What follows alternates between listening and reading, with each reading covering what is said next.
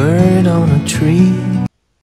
Pessoal, sejam todos bem-vindos ao canal do Residente Biomédico. Antes de assistir esse vídeo, eu peço para que você já se inscreva logo no canal, já deixe aquele like, tá bom? E ative o sininho para não perder as próximas atualizações aqui do canal em primeira mão para você, tá bom pessoal? Compartilhe nas redes sociais, isso ajuda o canal, deixe o seu comentário e esse conhecimento tem que ser divulgado para que todos saibam, não é mesmo? Então um grande abraço para vocês, fiquem com o nosso vídeo agora. E tudo começa, né, além de entender um pouco de microbiota normal, começa com o GRAM, tá bom? Tudo começa com o GRAM. Toda identificação bacteriana, todo o processo né, é, de auxílio diagnóstico você tem que entender de GRAM. E para quem é, sabe de GRAM, é, sabe que é, primeiramente nós coramos né, por três corantes, tá violeta, é, na verdade, dois corantes, violeta e fucsina, onde o Lugol funciona como mordente do, do, de violeta, tá bom? Aonde é um minuto em violeta, um minuto é, é em Lugol, né, descora com etanol e depois a fucsina. Aonde os gram positivos né, e gram negativos, nessa primeira etapa, eles vão corar tudo pela violeta? Quando eu coloco o Lugol, eu vou é, fixar, eu vou fazer com que os cristais de violeta se aglomerem, dificultando a saída deles das bactérias gram-positivas. E quando eu descoro com o etanol, as bactérias gram-positivas continuam coradas com o violeta. O complexo Lugol-violeta permanece dentro das bactérias gram-positivas e as gram-negativas descoram né, com etanol. Quando eu jogo o último corante, que é a fucsina básica, tá bom? É um corante vermelho, tá bom? Ele vai corar as bactérias que foram descoradas pelo etanol, que são as bactérias gram negativas.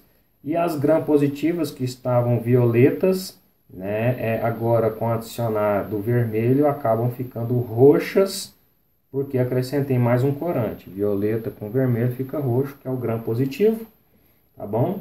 E o que foi descorado, que é gram negativo, permanece vermelho pelo último corante, que é o gram negativo. Com isso, Christian Gram criou essa coloração, né, desenvolveu essa coloração, e criando aí dois grupos né, de bactérias, as gram positivas e as gram negativas. Isso ajuda bastante né, é na hora de selecionar o meio de cultura, na hora de é, raciocinar clinicamente na microbiologia.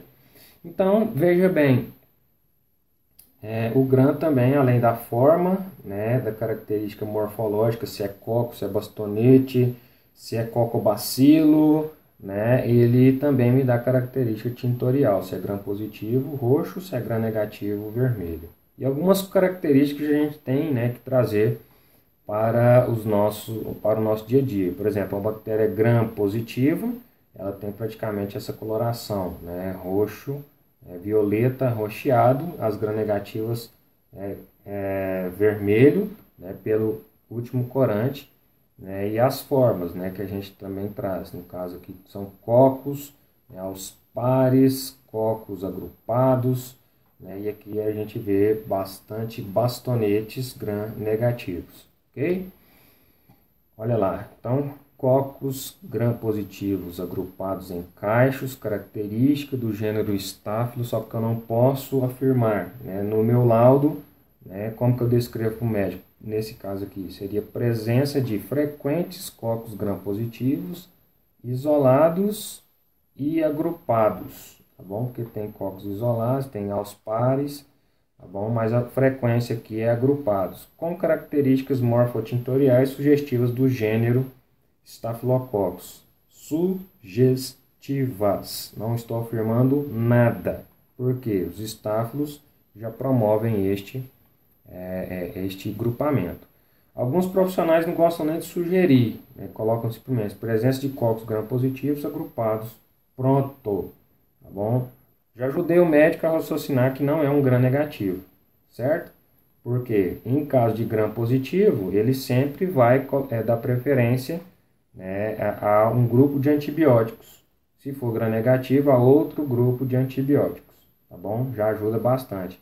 Mas quando eu falo sugestivo de estáfilo, sugestivo de estrepto, eu afunilo ainda mais a antibioticoterapia para o médico, facilitando o serviço dele.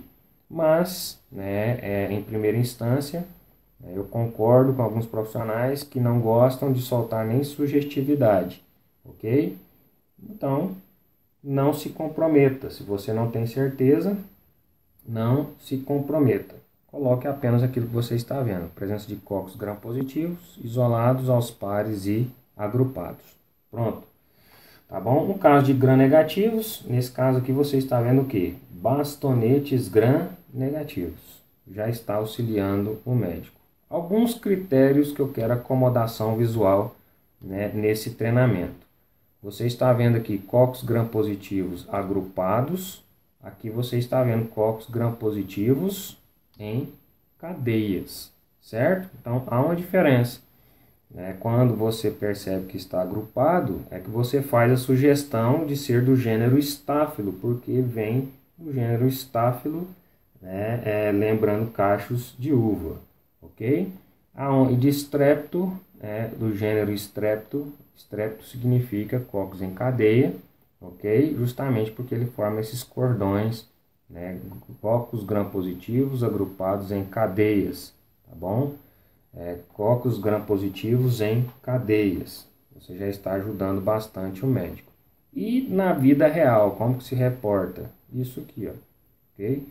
Você está vendo aqui células de defesa, aqui um neutrófilo bastante característico, neutrófilo segmentado, outro neutrófilo segmentado, aqui provavelmente um monócito, certo? E aqui um neutrófilo segmentado com certeza, né? E o espécime clínico com fibras né, de tecido conjuntivo, provavelmente é uma secreção é, purulenta, pode ser um escarro, pode ser um pus de qualquer outra região e o que te chama atenção aqui é copos gram-positivos encapsulados. Conseguem perceber a cápsula? A cápsula é justamente essa região é, esbranquiçada né, em volta, que não se cora pelo gram, ok? Cocos gram-positivos encapsulados. Né? Perceber que a bactéria tem cápsula ou não faz a diferença na identificação, Eden? Sim, faz a diferença na identificação porque uma bactéria que é encapsulada se espera ser uma bactéria em maior virulência, tá bom? É, visto que a cápsula dificulta a fagocitose dessas bactérias pelo sistema imunológico, ok? E se tornando então a bactéria mais virulenta. Então aqui eu estou presente, é, como eu descreveria esse gram. Presença de cocos gram-positivos encapsulados, tá bom? Lanceolados. Tem cocos aqui que lembram lanças, ok? Isto me faz lembrar uma característica morfotintorial de um gênero. Qual? Streptopneumoniae. Pô, você está identificando pelo GRAM? Não, eu estou né, sugerindo pela experiência, né, é, e não só eu faço isso, mas os, todos os microbiologistas né, que já têm uma experiência, a gente já começa né, a, a identificar, por exemplo, esse perfil né, de cocos gram-positivos encapsulados e lanceolados, isto é sugestivo de streptopneumoniae.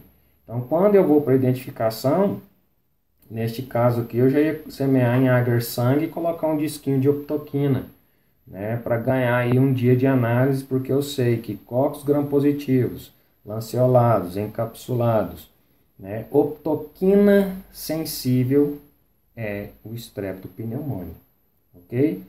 Então, rapidamente eu já faria uma identificação, né? já reportaria isso para o médico, visto que as pneumonias né, é, causadas por estreptopneumônio são de evolução muito rápida, e se não entrar com diagnóstico certeiro, né, é, o paciente pode vir a óbito rapidamente.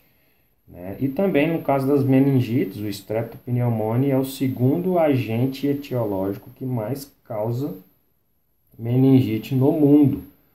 O primeiro é com certeza a Neisseria meningitidis, que é um coco gram-negativo, tá bom? Mas no caso dos cocos gram-positivos, né, tem aí o pneumococo, que vem em segundo lugar como agente né, bacteriano causador das meningites bacterianas tá bom? E geralmente espere encontrar essas infecções por estreptopneumonia em escarros, em é, líquor, né? No caso, líquido encefalorraquidiano é feito por punção, né? E chega ao laboratório e a gente, é, quando faz o GRAM, é exatamente esta a situação, essa situação que nós encontramos, né? Quando nós fazemos um GRAM é, disto em laboratório, ok? E é, olha só, uma, uma outra perspectiva. Né? Aqui eu estou vendo também leucócitos, olha aqui, vários polimorfos nucleares, alguns deteriorados, porque você tem que entender que isso aqui é um campo de batalha. Né? Eu estou fazendo fagocitose, o sistema é, né, fagocitário, formado por essas células fagocitárias, neutrófilos e monócitos, estão em intensa atividade inflamatória Nesse caso aqui, é, essa atividade inflamatória vai gerar necroses importantes. Essas necroses, essa destruição tecidual, né, libera no meio é, proteínas que vão ativar né, o meu sistema complemento, no caso, é, essas proteínas de degradação, elas acionam o fígado a produzir a proteína C reativa, que é uma proteína que vai atrair mais é, o seu sistema imunológico, né, vai fazer com que o seu sistema é, é, medular entre em leucopoiese, produzindo é, a mielopoiese mais neutrófilos para o local da infecção, né, e assim eu entro num estado de alerta orgânico, o meu organismo ele começa a produzir mais leucócitos, visto que os leucócitos estão é, é, morrendo, né, para me defender nesse processo infeccioso. E aqui eu vejo, né, é recheado também né, de cocos gram-positivos encapsulados e lanceolados. Se você não conseguiu perceber este lanceolado, esse daqui você consegue perceber que ele parece uma ponta de lança, assim como este, assim como este. Característica de streptopneumonia, tá bom? Então, isto é um grão característico. Quando em laboratório eu analiso um grão, né, que eu vejo essa situação, eu já falo ali para as pessoas que estão me acompanhando. Pode ter certeza que isso daqui né, é, é, pode ter é, certeza que a probabilidade de ser um streptopneumone é bem elevada nessa situação. Por quê? Porque eu estou vendo um perfil que geralmente acontece nos streptococos pneumônia, que é isso, um coco gram-positivo, né, é, em duplicidade seria um, um cocos aos pares, visto que o coco gram-positivo né, do estrépito, ele é um estrépito, ele não é um diplococo, né, eu vejo alguns erroneamente identificando aí como diplococo gram-positivo. Pessoal, entenda bem, o diplococo, ele, ele é, é uma fusão do citoplasma e ele é realmente um diplococo. Né? É, você não vai encontrar jamais uma situação como essa daqui, ó, um coco isolado. Ok? No diplococo, não. Você sempre encontra cocos, é, os diplococos. Então, por isso que você não pode tratar, no caso do estreptopneumônio, como sendo um diplococo. Né? Apesar de a gente, eu já recebi é, palestras é, de pessoas é, importantes do Ministério da Saúde chamando é, os streptopneumoniae de diplococos gram-positivos, assim como eles chamam a Neisseria meningitidis de diplococos gram-negativos. No caso do Neisseria meningitidis está correto chamar de diplococo gram-negativo, mas no caso dos é, cocos gram-positivos é, dos streptopneumoniae seria cocos gram-positivos aos pares, encapsulados lanceolados. Isso é característica de streptopneumonia, tá bom? Então há uma diferença e aqui você já começa a aprimorar nesses pequenos detalhes que começa como no grão. Porque até que se saia a cultura, leva aí no mínimo de 3 a 4 a 5 dias, dependendo do microorganismo. Mas no grão você já começa a resolver algumas situações clínicas para o médico. Né? Visto que um paciente com meningite suspeita por streptopneumonia, ele não vai durar de um dia para o outro, né? se não for feita uma antibioticoterapia adequada para o momento. E aonde você vai observar isso? Quando você recebe o líquor no laboratório, é exatamente isso aqui que você vê, tá bom? é exatamente essa situação que você vê. Presença de cocos gram-positivos encapsulados lanceolados, né, é, com características morfotintoriais sugestivas do gênero é, Strepto, espécie pneumoniae. Né, identificação e antibiograma em andamento. Veja que você foi perfeito na sua é, redação de GRAM. Então é aquilo que eu falo, o pãozinho da padaria você faz de várias formas, mas fazer bem feito faz toda a diferença na hora de soltar o seu laudo. Tá ok, pessoal? E muitas pessoas né, confundem, é, não conseguem enxergar isso daqui, né, o polimorfo nuclear no meio da situação. E é geralmente isso que a gente vai enxergar. É, diante disso, eu também relato para o médico presença de frequentes polimorfos nucleares, para falar para ele, olha, tá uma resposta inflamatória frequente, aguda, assim como eu posso relatar a presença de alguns polimorfos nucleares, presença de raros polimorfos nucleares, tudo vai de acordo com a é, frequência, né? por exemplo, aqui, né, presença de frequentes, veja que nesse campo tem é, frequentes cocos gram-positivos lanceolados. Mas no mesmo campo aqui, ó, nesse outro lado, tem mais. Então, presença de numerosos cocos gram-positivos. Então, nisso tudo você vai elaborando de acordo com a quantidade. Né? E como que você faz isso? Presença de raros, presença de, de... Como que eu sei se vai ser raros? Como que eu sei se vai ser é, é, frequentes, intensos, é, numerosos? Né? Tudo pela presença da frequência por campo. Se você visualizou um por campo, né, um por campo, em cada campo que você viu, é presença de alguns né, polimorfos nucleares ou presença de alguns cocos gram-positivos. Se você visualizou né, de 2 a 10, bom, já saio de alguns para frequentes, tá bom? Acima de 10 por campo, aí eu já saio de é, é, de frequentes para numerosos. Então, nesse caso aqui, olha, eu tenho 1, 2, 3, 4, 5, 6, 7, 8, 9, 10, 11, 12, 13. Né? Mas, né, eu só estou considerando um campo. Se eu fosse em outros, alguma outra coisa assim, né, eu poderia falar né, que isso daqui, se repetisse por todos os campos, eu já poderia citar a palavra numerosos. Mas aqui nesse caso aqui, ó, tem muito mais de 10. Né? Se você fosse contar aqui, com certeza daria 50 para mais né? cocos gram positivos. Ou seja, está numerosos. Tem uma por campo, se repetir na situação, está numerosos. Ok? Então, você começa a adotar critérios de identificação e de reportar os seus laudos de forma padronizada. Né? Uma dica que eu sempre dou é coloque sempre no, do lado do microscópio né, é, o seu padrão de acordo com o padrão da literatura, que é esse que eu acabei de falar. Então coloque lá como você vai soltar numerosos, quanto que você vê por campo, né, quanto você vai soltar é, raros, quantos que você vai ver por campo, quanto você vai soltar intensos, quanto você vai ver por campo, por campo. E assim você vai criando um perfil de adequabilidade né? e todos os microscopistas que passarem por esse microscópio vai seguir o mesmo padrão. Isso chama padronização da leitura do grão.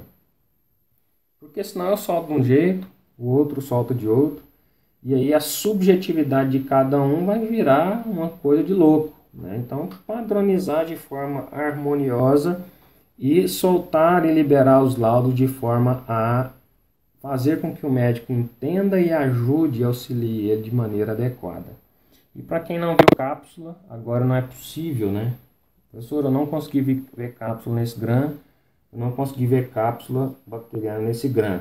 Aqui nessa coloração, né, que é uma coloração de GRAM, porém é uma, uma, já foi feita uma cultura, né, já foi feito um esfregaço, não, já, não está no espécime clínico como aqui, como aqui, né, e aqui você consegue ver né, é, essa aura em volta da bactéria, isso aí é a cápsula bacteriana, tá bom? Então aqui cocos, é o mesmo Streptococcus pneumoniae, né, aqui você vê cocos aos pares lanceolados encapsulados, e alguns já formando pequenas cadeias, porque ele é um streptococo, ok? Então, olha só quanto que você pode aprofundar em uma leitura de GRAM. Eu sempre falo, a microbiologia começa no GRAM, ok? Aqui no canal do Residente Biomédico tem pelo menos umas 5 interpretações de GRAM que eu faço ao vivo, ok? E eu vou deixar isso aqui disponível para você, é... mas apenas para quem fizer o curso de imersão, obviamente vai aprender os maiores detalhes. E aqui no caso dos GRAM negativos, né? como eu falei, existem cocos gram negativos, no caso seriam as neissérias, e este é o diagnóstico de, um, de uma neisséria. Né? Se, se isso daqui fosse um líquor, eu falaria que seria sugestivo de neisséria meningitidis. Se isso aqui for uma secreção uretral, né, ou uma secreção vaginal ou de colo de útero, eu falaria que isso aqui seria neisséria gonorreia. Mas como, é? Porque eu sei que cocos gram-negativos né, podem ser moraxella, né, podem ser neissérias, ok? É, são assim os dois que me vêm à mente nesse momento, né? E os mais né, importantes em se tratando de doenças nosocomicais, né, que acometem o ser humano, certo? E sempre, né, em cultura você vai ver dessa forma, né, cocos, é, diplococos gram-negativos, ok? E, mas na vida real você vai ver assim, olha, presença de frequentes polimorfos nucleares, olha quantas células de defesa. Você tem neutrófilo segmentado, neutrófilo bastão, né? E se rodar aqui você vai encontrar monócitos também, né? Como é esse aqui, ó. Ok? Então, e o que você enxerga dentro do citoplasma é presença de cocos ou diplococos né, gram-negativos, certo? Intra e extracelular. Isso é uma característica de Neisseria, tá bom?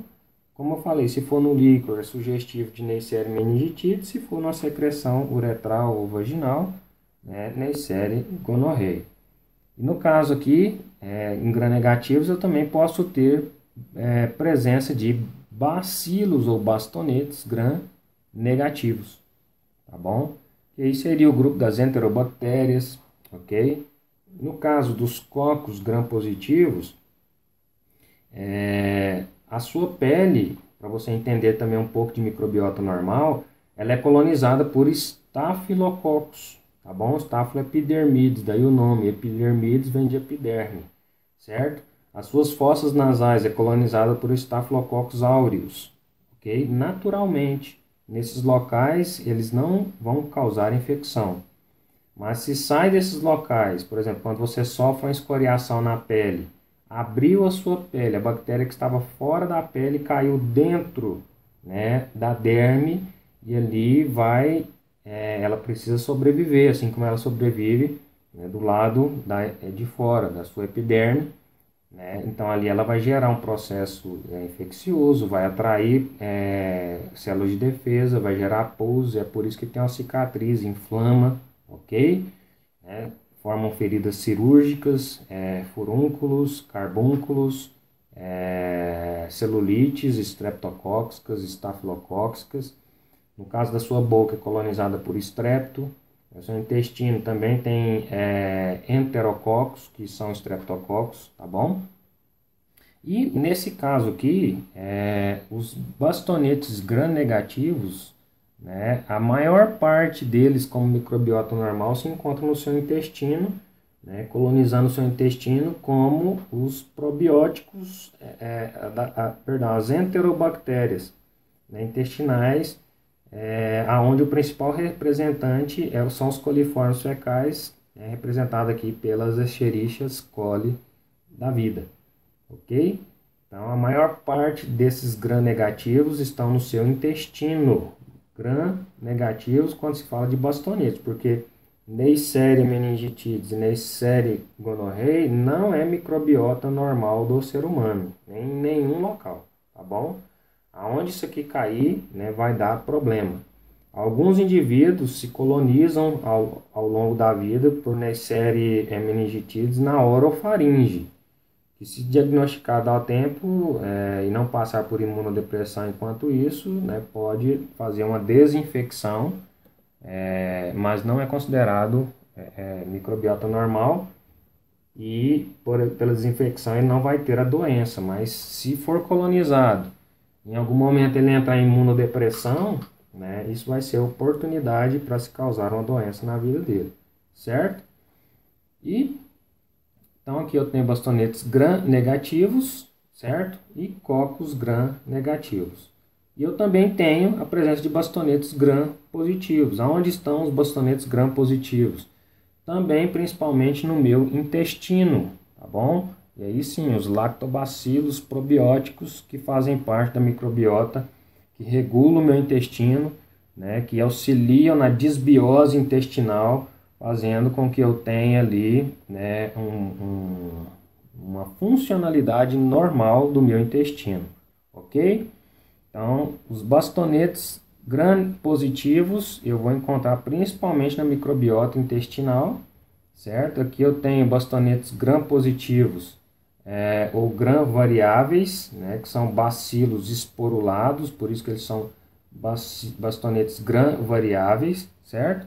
E além desses bastonetes gram positivos também ter no intestino, você vai encontrar isso na microbiota normal vaginal, né, que são é, os, a microbiota vaginal de Doderline, que está ali na, colonizando a vagina é, das mulheres, é, é óbvio, né, colonizando as, a vagina é, e, e fazendo com que tenha-se uma acidez que proteja né, esse espaço vestíbulo vaginal é, contra a proliferação de fungos, por exemplo, né, e evitando algumas vaginoses.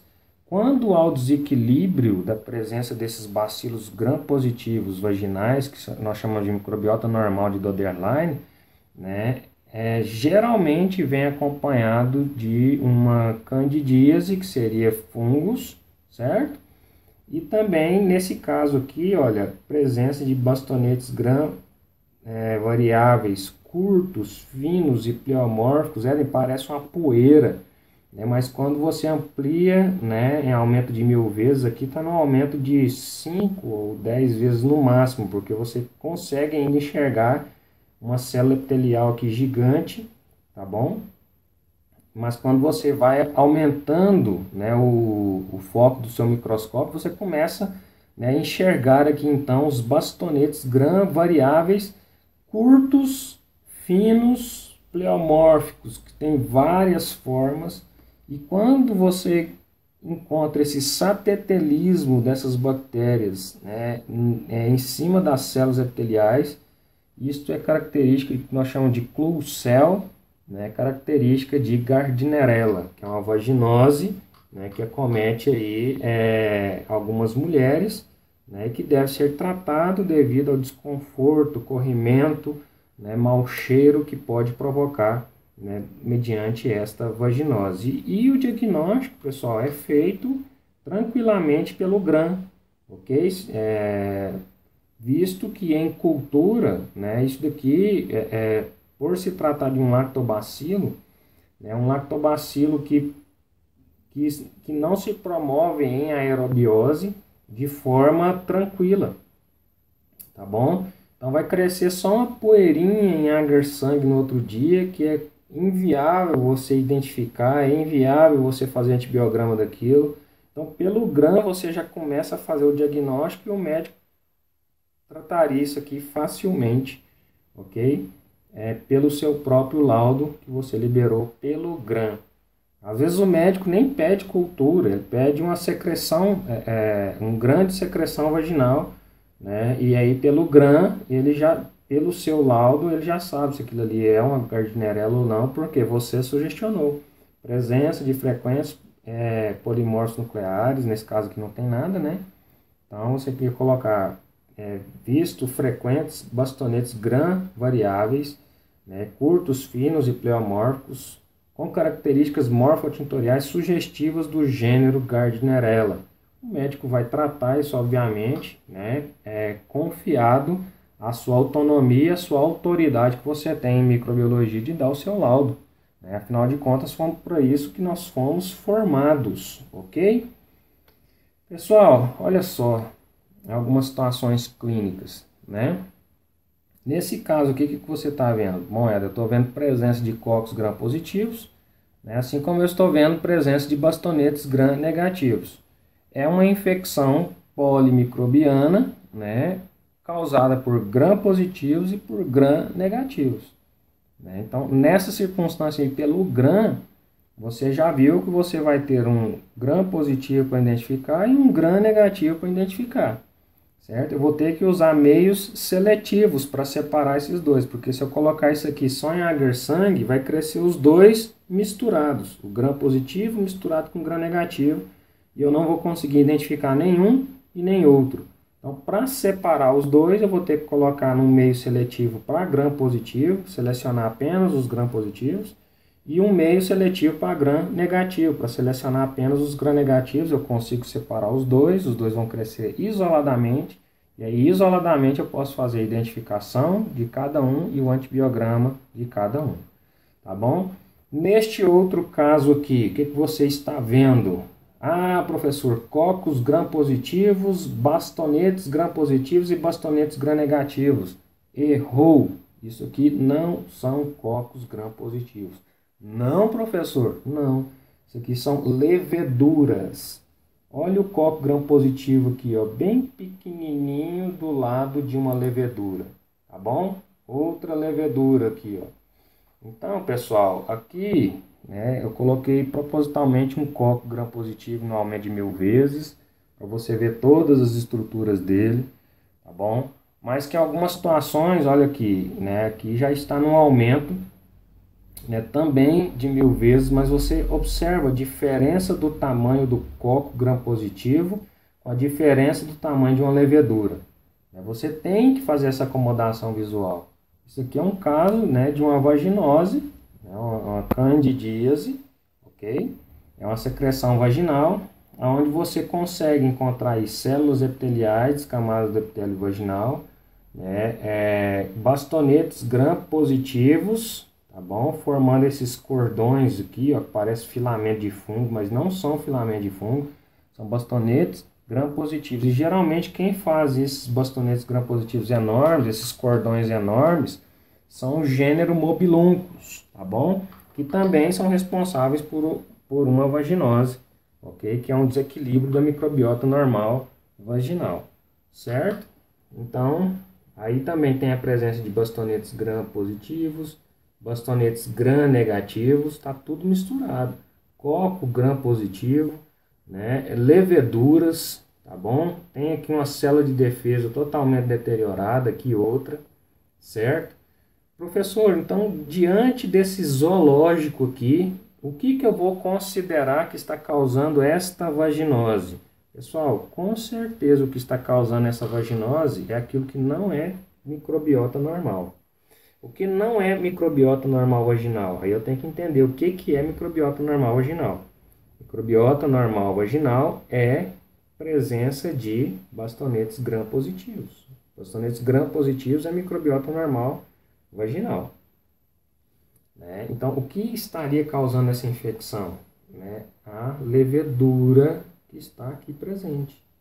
Tá bom? E esses é, bacilos enormes aqui, ó, que geralmente são do gênero Mobiluncos, tá bom? E não fazem parte da microbiota normal de Doderline, ok? Então, como eu descreveria isso no GRAM? Presença de frequentes leveduras, o que já não é normal, o médico já vai tratar isso com fluconazol ou qualquer outro composto azólico, e se ele fizer o antifungigrama e a a cultura para fungos, ele vai saber exatamente qual cândida está causando, se é a, a cândida é, glabrata, se é a cândida brasiliense, se é a cândida albicans, né? E enfim, e ele vai ter o antifungigrama, porque hoje a maioria das cândidas, né, é, já tem as suas resistências aos antifúngicos, né? E é preciso se fazer o antifungigrama. Mas, né, como a maioria dos médicos, tratam empiricamente com algum composto azólico. Se manifestar uma resistência ou não ao tratamento, ele vai lá e troca o composto azólico e tenta por tentativa e erro, tá bom?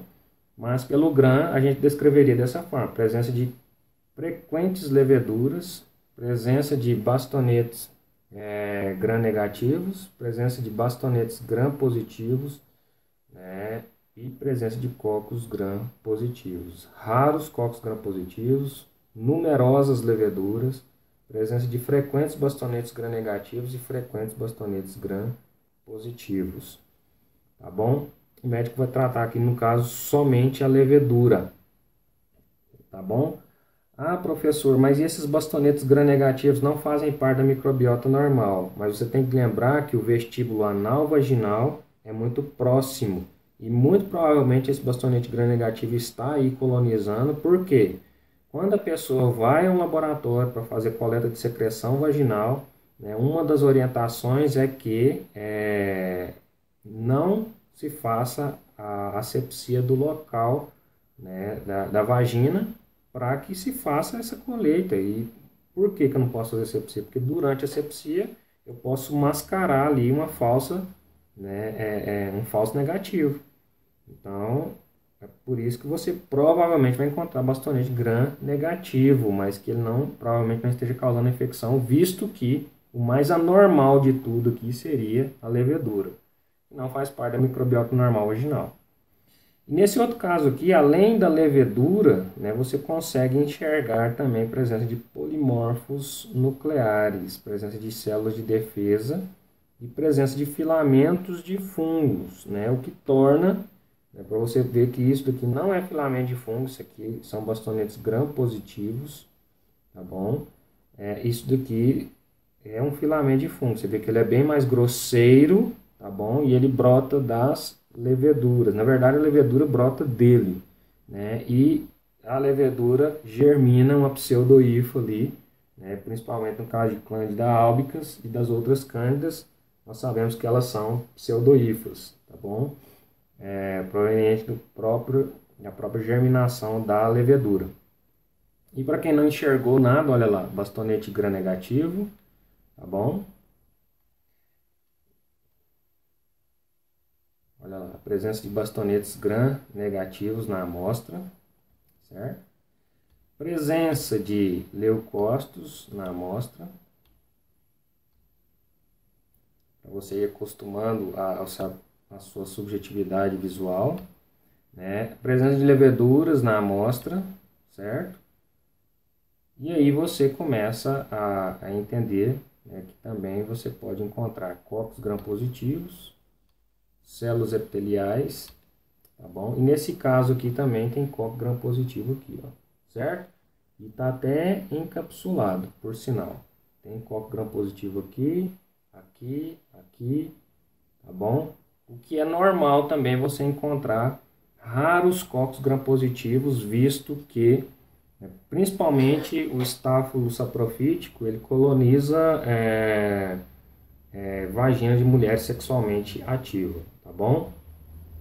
Porque o estáfilo saprofítico ele é microbiota normal do pênis humano.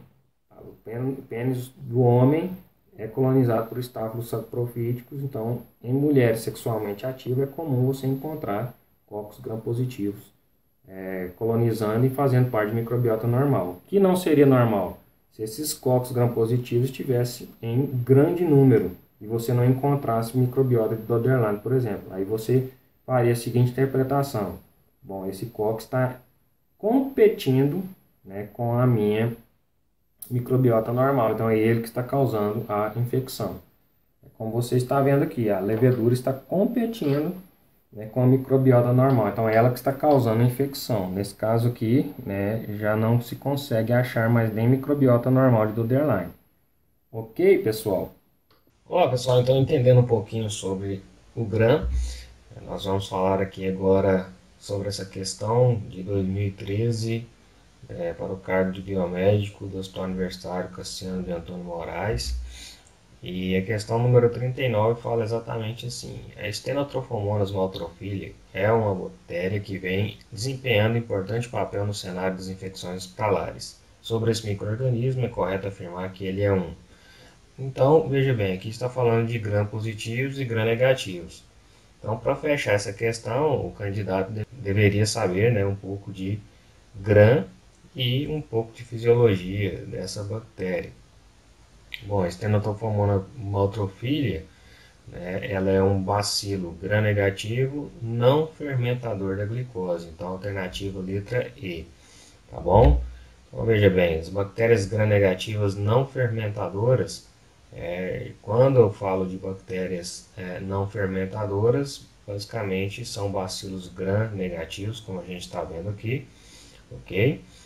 É, destes gram-negativos não fermentadores, eu tenho a Pseudomonas aeruginosa, a Burkholderia cepacia, a Stenotrophomonas maltophilia, que é maltophilia, que é a, a, o cerne ali da questão, e o Acinetobacter baumani, ok? No caso da Stenotrophomonas maltophilia, pessoal, ela está relacionada a problemas de pneumonias, infecções de feridas, infecções urinárias, otites, infecções cirúrgicas e sepsemia.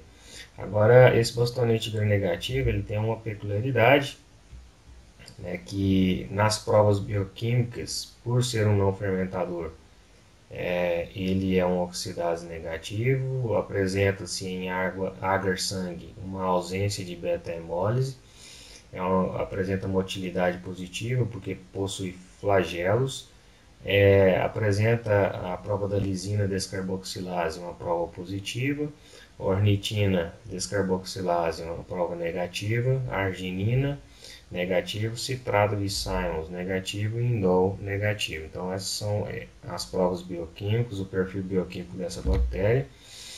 E num gram né, de ferida cirúrgica, qual nós é, já aprendemos a observar na realidade, é, Para quem não viu ainda, assista a aula de revisão de GRAM, onde nós mostramos como né, é, ver o GRAM clínico que é na realidade. Nós vemos aqui então uma ferida cirúrgica, onde nós encontramos vários bastonetes gram negativos, tá bom? Aqui um leucócito em intensa fagocitose, a gente vê bolsões de fagocitose aqui, ok? Então isso é típico de um material clínico proveniente de uma secreção de lesão, nesse caso aqui uma, uma ferida cirúrgica que foi né, é, identificado esse bastonete gram-negativo como sendo estenotrophomonas maltrophilia.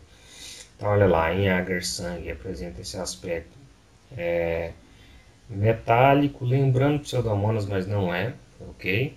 Porém, não apresenta beta-hemólise, como já foi relatado, e no agar-macon, que apresenta esse crescimento de colônias é, lactose negativo, não é? A, o Macon que ele tem esse perfil, quando a colônia é lactose positivo, ele cresce uma colônia rosa, quando a colônia é lactose negativo, cresce aí uma colônia marrom, como vocês estão vendo aqui.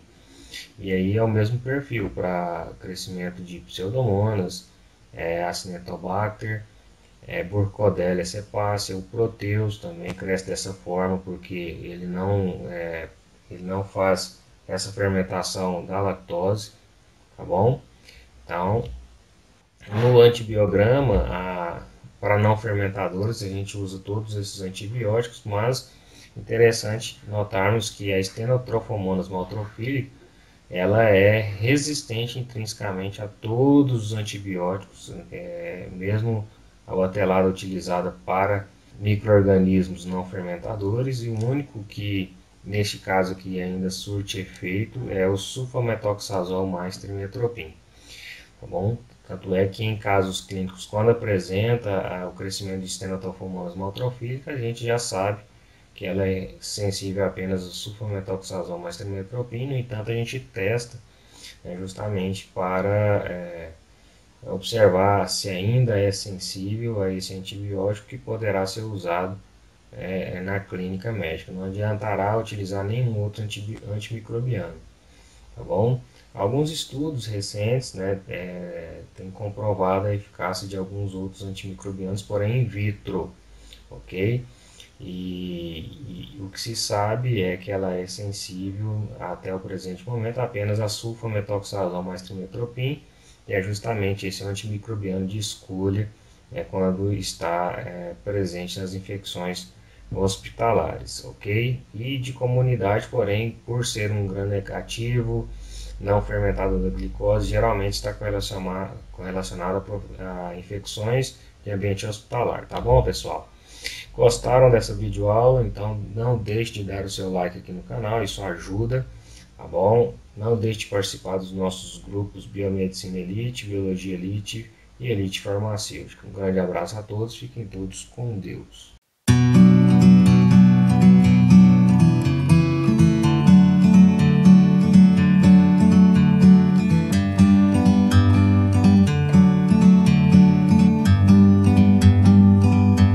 Like a bird on a tree